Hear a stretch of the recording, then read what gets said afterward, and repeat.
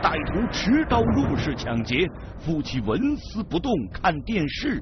歹徒气急败坏掏凶器，店主夫妻淡定嗑瓜子儿。凭什么要给你钱？我也跟你不认识。瓜子儿很美味，歹徒很抓狂，危险近在咫尺。我们到底该怎样正确出牌？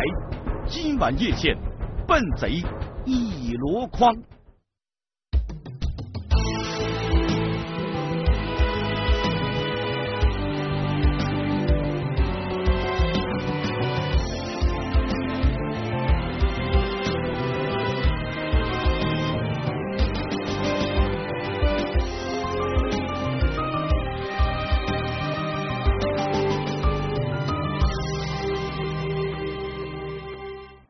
观众朋友，大家好，欢迎收看正在为您播出的夜线节目，我是张悦。前些天火了一段视频，是在浙江深夜一个小超市，一个蒙面歹徒挥舞菜刀去抢劫，然后这个歹徒举着菜刀，极尽凶恶状，但是那对超市店主夫妻居然一边嗑瓜子一边看电视，连眼皮子都懒得朝这个抢劫犯抬一下，看得大家都特别困惑，就这两口子怎么能如此淡定呢？请看我们今天的节目《笨贼一箩筐》。还原，梳理来龙去脉。一把瓜子，一家小超市，一把菜刀，这是电影里的一出戏，还是生活里的一个真实故事呢？这是浙江省永康市追英镇上一家超市的监控录像记下的一段真实的事件过程。入夜时分，这个镇上的小便利店还没有打烊，忙碌的一天就要过去了。此刻闲适的店主夫妻聊着天，嗑着瓜子儿。就在此时，他们迎来了一个打扮怪异的顾客。从他包着的脑袋可以判出，这个人有些不对劲儿。原本聊着天的店主夫妻安静的端详着眼前的这个不速之客。他们在交谈着，突然，不速之客拉开衣襟，掏出了一把菜刀，两只手指比划着什么。但是让人大跌眼镜的是，面对着明晃晃的菜刀，店主夫妻二人居然纹丝不动的继续嗑着瓜子儿。什么瓜子儿居然如此美味，让他们在凶徒面前都不动声色呢？当然不是。你看，女店主站了起来，不知她是否是要去报警。此刻，蒙面人挥舞着菜刀闯进了柜台，男店主伸手与歹徒搏斗了起来，他们扭打着出了小店的大门。很显然，这是一起入室抢劫案件。那么，这对店主夫妻如何能在万分危急的关头，嗑着瓜子儿不动声色的面对劫匪？他们到底是怎么想的？他们这样的做法到底是智斗劫匪，还是铤而走险呢？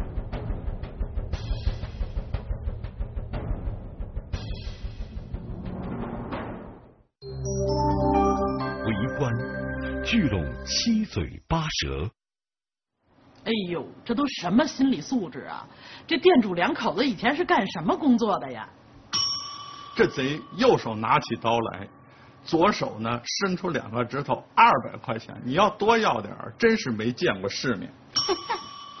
哎，这个这这是视频让我想起前段时间那个功夫那电影，那个六指六指那琴魔在那叮叮咣啷正弹琴杀人呢，然后那个隐居的世外高人那小龙女咔嚓叼根烟，包租婆对一 一根烟叼在嘴里边，然后在那喊，还让不让人睡觉了呀？明天还要让不让人上班呀？哎。人家有魄力，因为人会功夫。我觉得这个这这俩人太淡定了。那嗑瓜子那不是一般人干的事儿，这俩一定也是世外高人。我觉得这贼就是一好贼，这要是一特凶恶的贼呀，那事儿就不能是这样了。一个淡定哥，一个淡定嫂，真是让人佩服。刚把黄马褂脱下来，混在人间，这真是我们说的高手在民间。我觉得这个不怪人家这个夫妻俩淡定，这贼呀，说实话也有点。第一干巴巴瘦，第二您就要二百块钱。我们都知道，您要买一样东西标二百，没人买，一下夸嚓标两万，哎呦，大家都挤破脑袋去抢，这是好东西啊。所以我觉得这贼，你要当时一开口两万块钱，给我赶紧拿过来，那那那那夫妻俩肯定也哆了哆嗦的了。我觉得这贼也忒不懂做贼心理。哎，要我碰见这种事儿啊，我不管他要钱多要钱少，我不管他胖还是瘦高还是矮，您要钱是吗？只要这钱我能拿得出来，我都给您，我破财免灾，我不跟您搏斗，回头再把命送了。通过这件事儿学了一招，只要对方把刀举起来，一边嗑瓜子儿一边看电视，抻着，等你的招儿都使完了，我们再出手抢你去。我觉得这个事儿真是太有意思了。呃，这夫妻俩说实话命好，碰上这么一个窝窝囊囊的笨贼。这要是真碰上一悍匪，您还有视频往网上放，您直接就把照片摆桌上了。关于这事儿啊，七嘴八舌的议论还多着呢。二零一三年三月十二号晚上十点，浙江永康知英镇上的一家小超市还亮着灯，偶尔还有客人上门，所以店主夫妻并没有打烊。一般的两个人住在这里都是很少的。刚刚那个时候呢，我们两个人都住在这里。永康市真英镇是浙江省无数个以加工业为主的城镇中的一个。主要以加工五金产品为主，有大量外省人来到这个富裕的小镇打工生活。店主郑永平、送菜女从丽水老家来到永康已经八年，一直经营着这家小超市，日子平淡但是安稳。可是今年三月的这个夜晚，却让他们觉得有些异样。这个衣服的帽子，他这个拉的这个松紧带都接到这里，就剩着这个前面这点脸眼睛一直在外面嘛。因为他那子的打扮一进来，我们在心里怀疑，今天这个人就不是怎么样的好人。这个深夜闯进小店的年轻人，尽管装扮奇怪，但是做生意免不了要面对形形色色的人。夫妻俩一边盯着电视里的剧情，一边等着此人开口。他走进来就说：“钱拿两百给我。”第一句话开口就是要钱。那时候我我说拿两百给你，我说我又不认识，凭什么要给你两百？我也只是这这样子想。他说打工人没法吃，赚不来钱。我说没没法吃，你不会去找呀？我不不会给你，我凭凭什么要给你钱？我又跟你不认识。张口就问自己要钱，宋菜女心里一紧，但是转念一想，她很快安静了下来。我也这么想了，真正真正的抢劫的人，就马上就一进来，也许就冲到我柜台来抢劫了，是吧？这种是真正的抢劫的人，这个是我自己的心里的感觉。那这种人，我想你向我拿两百又不是很多，但是我把这个钱给他的话，无所谓，我给他两百，对不对？这等于就是我怕他了，我心虚了。也许他下次没法吃了，又会来向我拿钱。呃，这次两百，他心里会感觉，哎，这个人怕心虚，我下次狠一点，下次去要他一一五百一千也可能。这是我心里的感觉，我所以这个钱我不能给他。电视剧里热热闹闹的对白，夫妻俩噼噼啪啪的嗑瓜子声。让蒙面人有些气急败坏，二百块钱没要到手，他唰的拉开了衣服前襟儿。他说给不给？我说不给。他不给，那我只能这样子呗。我只能这，难道你还想杀我？还想开我？心里这么想。他们后来他就看到这个夹克插起拉链拉下去，拿出一把菜刀。他菜刀拿出来是。这这是菜刀拿起来，这两把两把，这手指真硬了。我说不给，没有。我说我不认识你，凭什么给你钱？我说没有，我眼睛也没看到他，我就这样子看，我自己也照样是嗑瓜子，所以这样嗑瓜子这样嗑，说哪个是吧？嗯，我这样子吃吃吃，我也不看你，我就这样嘴巴这样回去。他说还是不走啊？哎，你这个人这么赖，耍赖呀？这今天想赖 我，是这子想啊？一把明晃晃的菜刀横在距离夫妻俩不到半米的柜台上，但是两人纹丝不动，仍然在嗑着瓜子儿。这就像一记重拳打在了棉花上，手握菜刀的蒙面人很是抓狂。这个东西怎么说呢？也不知道那时候我也不知道怎么想，就好像一点害怕的意思都没有。我也不理他，那不是的他那一个反感，哎，我刀拿起来你都不怕我，啊？他一个反感，是这样的事情。那我也这么想了，因为你你刀拿出来，我还是这么好的态度对你，人家我想想凭你自己的心，你也不会说哦，直接把就刀砍到我头上了。我想中他，怎不会吧？他今天刀拿起来，我在坐在这个地方怎么退？当时也有这一想了，如果他那个刀拄起来的话呢，那个时候呢我就要往后这个钉子往后一推。他就看不到，你这样的想法。那么他刀拿起来我这么稳定呢？因为他那个刀没有走起来，那也是稳定的。因为他我也不理他，那不是的他那一个反给，哎，我刀拿起来你都不怕我啊？见蒙面人已经掏出了刀子，宋太女放下手里的瓜子儿，起身不紧不慢走向电话。我不慌张，我意思我就站起来。打电话，你就应该知道我是报警，你会走，我是这样子的。我没想到他知道，哎，你要报警，我就干脆冲进来。惊弓之鸟的蒙面人立即意识到，他这是要打电话报警，于是他举着刀闯进了柜台。那我冲进来的时候呢，那时候我站起来了，站起来了，两个人搞起来，搞起来，我第一步，我自己也想到，声要轻。你如果声音不轻的话呢，搞糊涂了的话要给他看去。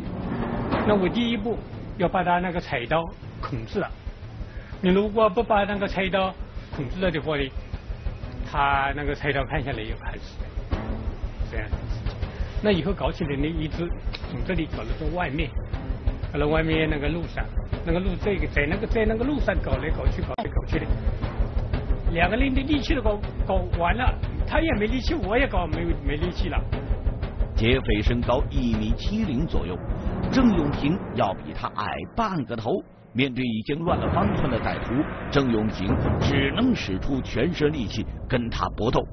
他那个这个手给我抓住了，抓住了我这个刀朝着我的，我这个刀你再把把他那个手一转，转了他自己头上，转了他自己头上，他那个刀还是往下了个的。所以搞了他自己头上，在两人的厮打中，歹徒用刀砍伤了自己的头部，他丢下菜刀，仓皇逃遁。目前，永康警方已经接手此案，警官曹希姿负责这起案件的调查。第一点，肯定要保持镇定，哎，你不能慌，尽量满足他们的要求，拖延时间，尤其是像他们这种开店的，因为。时间也不是特别晚，过往的行人也会有，随时都可能出现其他的顾客。你时间拖得越久，然后就能够更好的制住歹徒。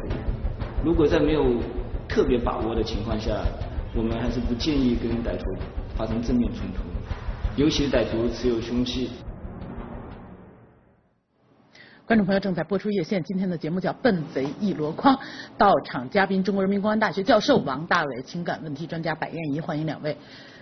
白老师，刚才那个淡定哥一直在分析，我觉得淡定哥可能情商还挺高的，一直在分析对方这个动作，说明他有个什么心理。我现在就不看他，我不跟他说话，这样不会激怒他，我就能怎样怎样。就他分析的这套心理学规律，对吗？呃，说实话，我觉得不是特别对，因为 他这真是一种自我安慰。我觉得就一听一乐呵，但真的不，我认为不对。呃，首先他他分析的是他自己，但是他忽略了这个犯罪分子的一个心理状态。因为我们知道，沉默这个东西是张力非常大的、进攻性非常强的一种非语言类的语言。啊呃，然后你你你在这样的一种状态下，这个对方会看到你，他会觉得你呃按兵不动。深藏不露，他会心慌，他会忐忑，他会更恐惧，甚至还会有可能更愤怒。他觉得你蔑视我，你居然瞧不上我，我你都不怕我，那这样反而会激怒他，然后就有可能会造成更大的这种进攻。比如你看后来不就把刀直接就给举起来了，或怎么着了吗？但淡定哥想的是，我不看他，我不理他，我接着看电视，这样他就不会生气，不会激怒他，所以就没事儿。这有点掩耳盗铃。其实不是是吗？其实不是。你觉得你越不理他，越可能会激怒他？你看我们这个状态，在小夫妻俩吵架就特别的明显。这个媳妇儿要想跟丈夫嚷嚷点啥，这丈夫就假装没听见，自个儿那该干什么干什么。结果这媳妇儿就越说越气，越说越气，最后就咆哮，最后就开始摔东西、砸盘子、砸碗。其实就是因为沉默本身是最强的一种进攻性的一个语言。嗯，他觉得这个他们两口子这个心理学原理不大对。那您从犯罪学的角度说，他们两口子的这些招都对不对？我跟这个白老师有点差异啊。我认为他整个的这个举动应该说是还是合情合理的。为什么呢？咱们最后啊，对于这种犯罪和被害，最后我们有个黄金标准，就是这个被害人没有丧失生命，没有受伤。那这就是一个最高的一个黄金标准，而且呢，他最后达到了这个标准，所以我们应该给这淡定哥、淡定嫂一个很高的分儿。但是我是觉得哈，您想这贼啊，嗯，就就掏出一菜刀，要二百块钱，然后那个没要着就挥舞起来，俩人还搏斗起来了，没两下，这贼拿菜刀自己把自个儿就给砍伤了。我真的觉得是碰上了一个特面或特老实的贼，如果碰见一悍匪。真的不是这样的。对，他真的要是碰上一悍匪，今天的结果也许真的不是这样。那么我们说呢，遇到这种情况，叫美临大事有静气，不信今日无古闲哈。就是遇到这种事情，最大的一个东西就是淡定。呃，过去咱们有个小孩被绑，他一绑有九岁被绑了，绑到车里了，这小孩就想起姥姥说的一句话，说的平时孩子咱不惹事儿，惹上事儿不怕事儿。这孩子九岁，马上一下全身放松。哎呦，我从小我姥姥也这么啊，我姥姥就跟我说过这么一句。嗯。他就管那绑匪说说，哎，叔叔，你有那个水吗？给弄点来。然后那绑匪就弄了两瓶矿泉水。然后说，叔叔，你有面包吗？又弄点面包。完了，他又问叔叔说，叔叔，你们家孩子多大了？他明天是不是要上学？这孩子真贫。然后最后最后就绑匪就给他放了。后来改跟小孩聊天了。对。然后呢，这件事就告诉我们呢。就是遇到这种，就是真的，我们遇到大事儿的时候，允许有二十秒钟啊，什么都不做。但我不知道嗑瓜子嗑多少秒啊，我不知道。这是我们一直在说的，因为它背后有个原理叫什么呢？就是先放下稀饭，再拉孩子。嗯。什么意思呢？就是一般妈妈这手不是端着一一锅稀饭或者一碗热稀饭吗？这手领着孩子，突然这孩子一跟头摔倒了，这个时候很多妈妈呢，当时都有一个快速反应机制。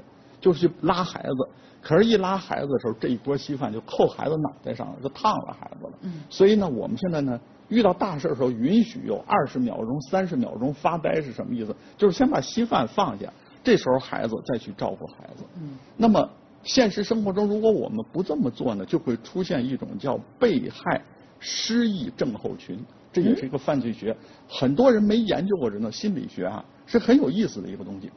就是呢，你比如说，我给你举个例子啊，你你好好在家待着，突然来一电话，啊，说的你那个女儿被我绑了，嗯，得了得了，你跟我说这个有什么用？你就要挂。对方说，哎，你真的不信吗？不信，我让你你女儿吼一嗓子，你听听。结果对方一吼，那个女孩说啊一喊，这个时候爸爸妈妈心一下就慌了。也许对方是个狗叫。也许对方是个猫叫，也许不定谁喊一嗓子，大部分的家长这时候就突然会觉得是自己的孩子，然后就开始汇钱了。被害失忆症候群，症候群，就是他顿时顿时就完了，就就脑子就乱了。乱，你咱们现实中有好多老头老太太领着坏蛋上家，一掀炕席把钱给人家了，但是走出五十米，嘎一下又醒了。嗯，说怎么回事？说他刚才熏香了，拍花子了，没有。就是这一瞬间失忆了，嗯，所以呢，在这个时间人嗑瓜子儿，就是说明人家没失忆，人家很淡定，人都琢磨了一下，他分析的不一定对，但是他还能冷静的分析，就说明那个至少人没被拍花子。对，那个张伟老师，我给你举个真实的例子，就是说，当我们一个犯罪啊突然侵害到你头上的时候，你这个时候啊，你有一个试探对方的过程，嗯，那么实际上他刚才菜刀一拎，二百块钱一指。他那点儿几斤几两哈，瘦小干枯，他就通过瞬间，他实际上已经有了一个综合的分析了，所以人家才敢再接着嗑瓜子，接着看电视。就是一窝囊贼。哎，我现实生活中呢，哎，你们别老笑话这样的贼，咱还是祈祷所有的犯罪分子都是这样的贼，还是比较好的。要都是悍匪，太可怕了。我我跟你讲啊，我现实生活中呢，我真遇到过一起这个事儿。我呢晚上在一个特僻静的街上走，一个人都没有，而且那会儿特别晚了。然后呢，我就走着走着，突然对方就来了一自行车，咵就冲着我过来，就要把我撞倒、撞死那感觉，蹭一下就过来，特快。然后我这时候还比较机灵，我往旁边一闪，他咔一下没撞着，那车子就倒地了。一倒地，那人噌就过来了。过来以后就闻着一股酒气啊，噗一下就冲着我脸过来了。然后这个人上来就是把吃奶的劲儿都使出来，咣就给我一拳，就打到我这左肩膀上。就什么事儿都没有，马路上一人平白的打。哎，就过来，他先撞我嘛，一下没撞着，我估计是一劫匪。然后过来以后，这一拳就打到我这儿，他把吃奶劲儿都使了，可是。他这一拳打过来，我特淡定了。您猜怎么回事？不疼，就是他把吃奶的劲儿都使了。您想想吧，而且还是喝了酒，酒壮了怂人胆，鼓起勇气打您，哎，都打不不疼。哎呦，这一下我就这这就我就一下计算出来，他有几斤几两算。然后这时候他就一下一鸳鸯脚就飞过来了，这可是他看家的本事，噌一下就过来了。然后呢，我那手是一个本能，就这么一撩。就把他那个后脚跟给撩住了，两个手一蹬一拧，往那一扔，唰，两米多远出去了。你猜这哥们怎么办？嗯，起来推上车走了。再没跟我说任何话。我现在深深的同情这个贼，他怎么结到了公安大学的 教授身上去了？那我觉得王教授说的特别的，呃，就是他他想表示，我觉得啊，就是我们在面对一个歹徒的时候，我们对他是有判断的，到底你能不能 hold 得住他，你能不能去跟他有一定的这种博弈、这斗勇啊？就是如果你要是判断，像大伟老师一看这没劲儿，那就来吧。如果要说，我估计那那人咣一下，您感特疼，那您还那就那就咱就退一步了，你就说兄弟，你要什么我给你是吗？其实他说的是这两口子处理的对，不是说他的心理分析分析的对，而是说他们能保持冷静，在保持冷静的同时，对对方的斤两做了一个判断，对，然后根据这个判断再出招。对，您是觉得这个过程是对的？这就叫斗智和斗勇相结合，他实际上是做到了这一点。对，其其实我觉得就是我们不能说因为犯罪分子要钱要的少，我们就觉得他这人。窝囊啊，或怎么样？因为我知道前一段时间看了一个节目，有一个也是一个劫匪，然后在一小黑胡同里去劫一女孩，其实好像也没要多少钱，但这女孩害怕，她就尖叫，不像这淡定哥这么淡定，然后她就尖叫，结果那个那坏人就把那女孩这个嘴捂上，然后掐脖子，最后没想到把人给弄掐死了。哎，嗯，这就说呀，这个如果是一个惯犯呀，他们熟练，比如他想劫财的时候，他肯定不会要命，怕的就是碰上这种生瓜蛋子。就是做事并不熟练，手忙脚乱，没深没浅，然后他就能干出。而且他最后确实很危险，他那刀一下举起来，那是砍着自己，把自己给砍了，要没砍着自己，砍上那个老头也完了，是吗？嗯，总而言之，这是一个糊里糊涂的笨贼，而这种笨贼的故事居然 还有好多。嗯，你接着看。二零一二年二月二十七号晚上九点半左右，浙江苍南某金店的王女士正准备关门打烊。他门一进来的时候，蒙着脸，拿着刀把我门给关起来了。因为我在里面是留着这么一盏灯，我就知道我遇见钱了。他说金，那我就回应了他一句，我说金什么金？我说，他说你把金拿出来。劫匪话音刚落。王女士突然转身，用柜台里的一杯液体泼向劫匪。劫匪恼羞成怒，挥舞着水果刀直逼王女士而来。他看我泼他东西，他就是刀，不是有那个刀又飞过来了吗？刀就是我隔着柜台就是伸进来吗？伸进来，那我转身就去拿第二杯了吗？我说你再过来，我硫酸泼死你。然后他就看我一听硫酸，他就跑了。王女士告诉记者。她泼向劫匪的第一杯是盐酸，平时用来清洗黄金的，当时劫匪会有灼烧感。第二杯就是普通的水，因为劫匪进入店内的时候，他的儿子还在身边，所以他不敢跟劫匪来硬的，急中生智想出了这一招。不久前的福建省福州市深夜的便利店里，突然闯进了这个不速之客。刚才还在玩手机的女店员被这突如其来的变故吓懵了，只见劫匪不慌不忙的收起了裁纸刀，将收银柜里的大小纸票搜罗一空。收钱的时间长达一分多钟。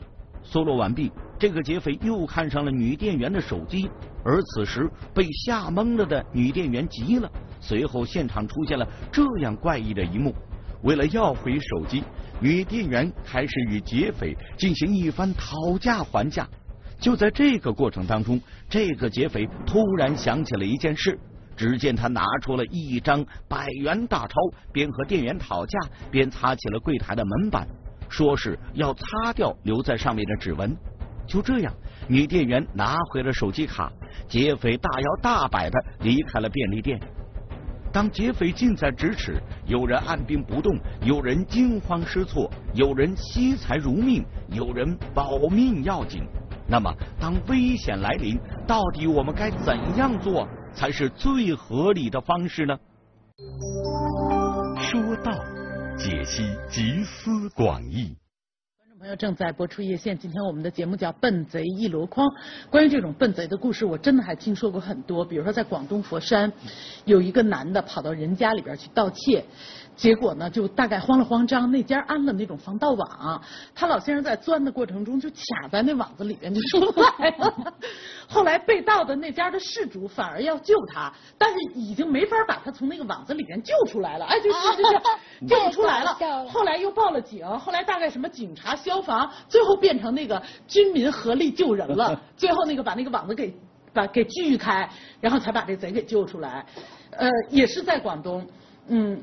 一个人抢人家的金项链，抢完了之后逃跑，慌不择路，直接跳到一大泥坑里边去了，然后就陷到泥里边去了，那个马上就会死人的。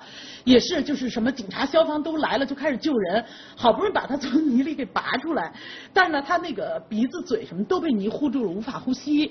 警察又在附近四处找水源，帮他搓洗了十分钟，才算把鼻子、嘴给搓开，才救了他的命。太搞了，真有这么多笨贼？真的有，真的有。那个，嗯，国外也有。比如说，在美国有一个小伙子抢一老太太的钱包，抢完之后撒腿就跑，没几步就让老太太给追回来了。因为那老太太年轻的时候是古巴的一个田径明星。这这就跟袭击大伟老师的那个差不多，你打谁不好？一个特怂的贼去打公安大学的教授，对，就是这意思。然后你你会觉得这些都是瞎编的故事，真的是真的。就是今年的五月三十一日，在东莞有一个更绝的事儿。一个一个强盗抢一个女孩的手机，抢完之后也不是怎么自己的钱包掉地下，就让那女孩给捡了。而那个钱包里不仅仅有他的钱，还有他的身份证和驾照。你说这怎么行啊？盗贼当时就急了，就开始跟这女孩谈判，说你还给我吧。最后就说我把你手机还你，你把钱包还我，咱俩一手交钱一手交货。结果就在交换的这个过程中，女孩攥着钱包没给他，劈手把手机给抢过来了，结果全跑这女孩手里去了。然后女孩撒腿就跑，跑进了旁边的一个也是这种小超市的一个厕所里，女厕所八把门一反锁，人在里边报警了。得，然后这这这小偷被抢了，这小偷被抢了。然后就关键是那个开超市的那个人就说说就见着一个客人哈，就见着一女孩。噌的一下从前门跑进来就进了厕所，又见着一男的噌的一下从前门跑进来，犹豫片刻，嗖从后门跑出去了。但是很好抓，因为他身份证和驾照都已经到警方手里了。哎，天姐，只要都这么笨就好了。啊，真的真的，那个那个世界就和平多了。但是我还是觉得，其实其实很多情况下，你碰到的贼不不不是这样的。对。所以在那种情况。下，我个人是真的觉得好像不要贸然跟歹徒搏斗吧。对，还是那个先保命要紧，对吗？这些都是太幸运了。我我先给大家说第一原则，就是我们遇到犯罪侵害的时候，那么就是生命第一，财产第二。嗯。这个呢，要从小就跟孩子们讲。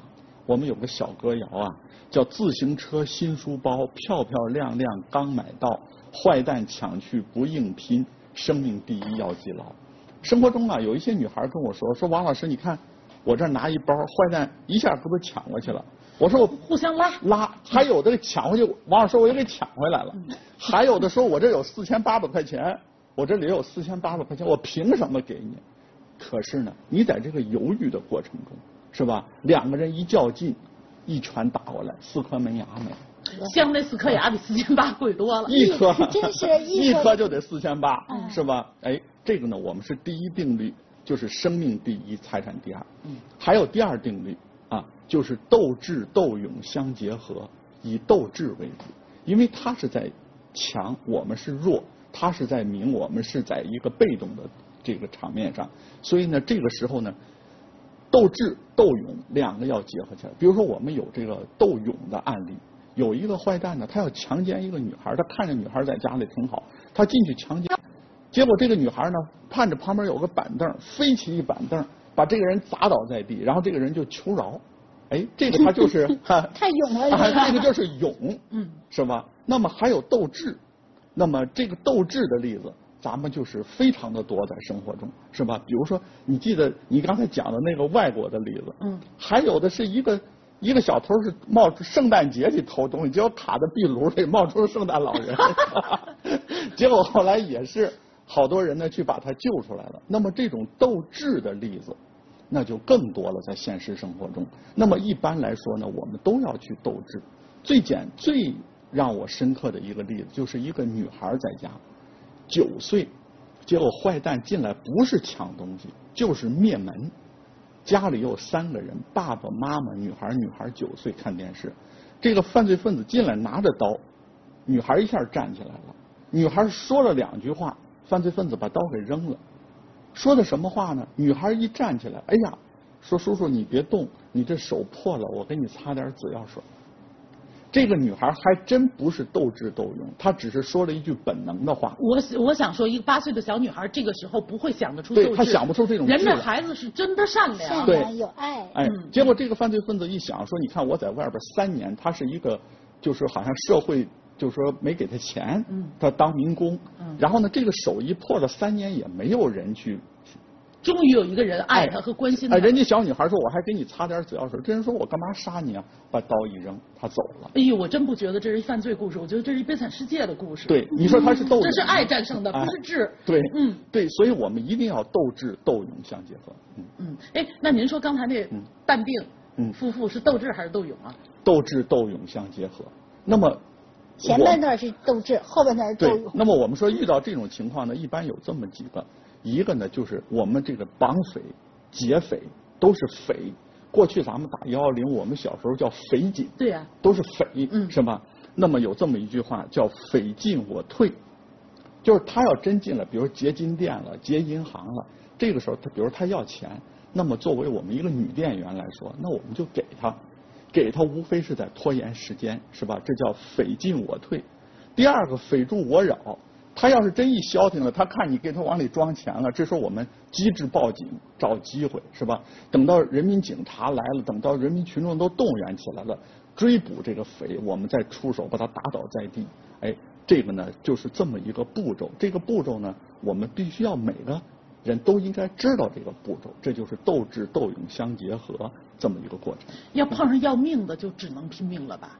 啊、那也不一定，就是说到最后真的要是拼命了，也是有两种情况。有的时候你真的拼命把贼打败了，有的时候你还是想出一个斗智的一个办法，也能把贼打败。那么这个时候呢，没有定论，但是最后有个黄金标准，就是说只要我的生命不丧失，我不受伤，那么这就是这事儿就算成了，这就算是个好事儿，嗯哪怕呢钱可能被人家抢走一点，那个也不要紧。那么事后我们还可以破案，把钱再追回来。生命第一，财产第二，永远是衡量这一类加害和被害最后我们的评价标准。不，您刚才说这个，如果生命已经受到控制，并且受到巨大的威胁，一看就是非死不可了。这种情况下，哎，我倒觉得让我想起《大话西游》里边那唐僧，那他每每被妖怪给抓起来的时候，他又跑不了了，然后又要马上就要被吃了，他就开始用爱来去感化啊！你看你妈妈生你多不容易啊！你看这，哎，反正他就用这样的方式，因为他都不是拿爱感化的，他是因为絮叨把对方实在给絮叨烦了。对，但我就是想，就是从中引申出来一个什么，就你已经经实在没有办法，你不如再去就是用情感这张牌来去试一试，因为人心都是肉长的，就是再悍的匪，他内心当中也有柔软的一块，万一要让你碰上了呢？万一你要把那个根弦给拨动了一下呢？他没准就像那个九岁的小女孩说给擦紫药水的，那不就逃过一劫吗？所以我觉得就是永远不要放弃希望，这也是非常重要的。他实际上现在我们说有悍匪，有这笨贼，还有小毛贼。但是你看到你遇到的是哪一档贼，是吧？你要遇到悍匪，那是一种处理方法；遇到笨贼和小毛贼，又是一种处理方法。过去呢，我们从国外就是引进国外那个警察教材，里边说的遇到这个绑匪的时候有八步。八步是什么？比如说这个不能公安人员和这个被绑架的人交换，比如说。